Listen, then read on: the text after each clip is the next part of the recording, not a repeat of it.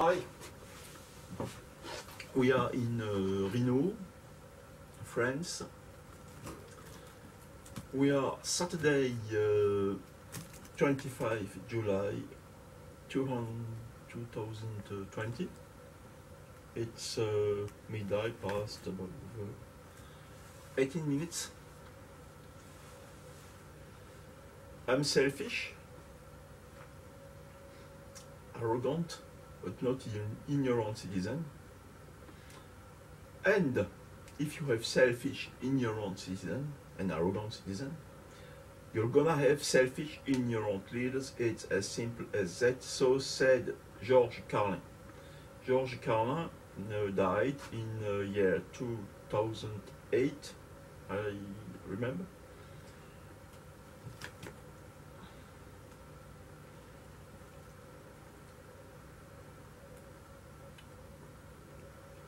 I want to say it uh, all the world, all citizens of all the world. Corruption, corruption,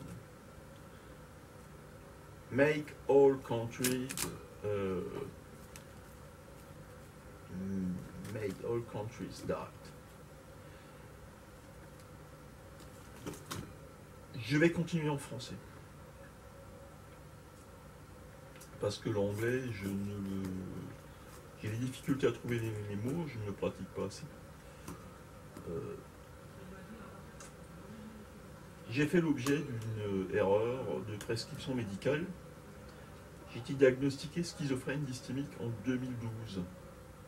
On m'a prescrit des médicaments euh, qui, ont, qui ont eu des effets dévastateurs sur moi. Les psychiatres, je ne vais pas les nommer, ils se reconnaîtront. Ça a entraîné une situation de surendettement. Donc j'ai créé un site http stop-au-surendettement.free.fr pour dénoncer euh, ce qui euh, est donc un crime contre l'humanité. C'est Dominique Michel du syndicat de lutte contre les banques que je salue, qui fait des pizzas quelque part dans le sud-ouest. Je suis un peu décalé par rapport à eux, puisque je suis dans le nord-est. Euh, Dominique Michel, coucou. Il y a euh, aussi donc euh, Étienne Choa, que je salue aussi, qui propose une solution très simple pour éviter la corruption. C'est donc d'écrire la Constitution. Et pour écrire la Constitution, ben, il faut devenir constituant et puis réfléchir. le système euh, a l'air bien. Tout cas, moi je lui fais totalement confiance. Étienne Chouard, euh, il a cette solution qui consisterait au conditionnel de tirer au sort les députés qui votent les lois de façon à éviter toute corruption. Un coucou à Philippe Pasco, Philippe auteur de plusieurs bouquins, euh, best-seller de vente de livres, je crois en 2019, euh, des du boudon, des plumes, allez tout faire trois petits points, etc.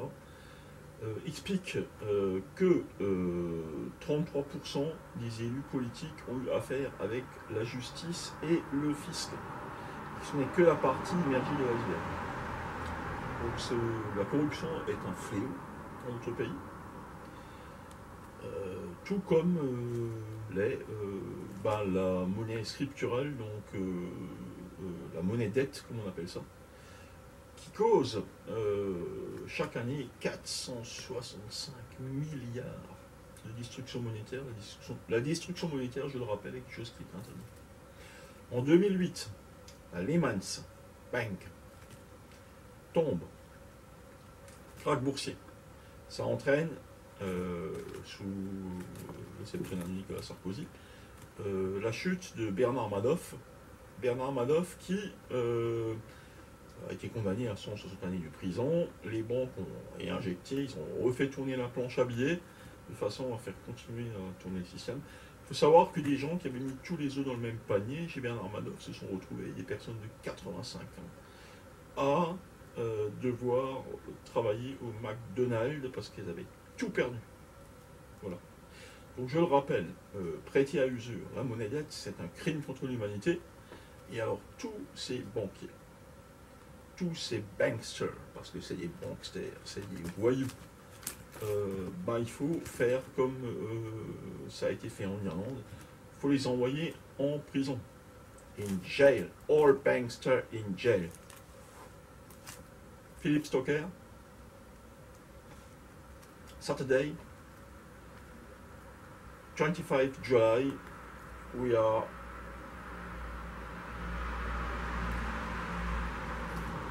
Il est minuit et 18 minutes.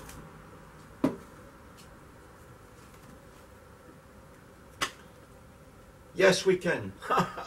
Put the bankster in jail.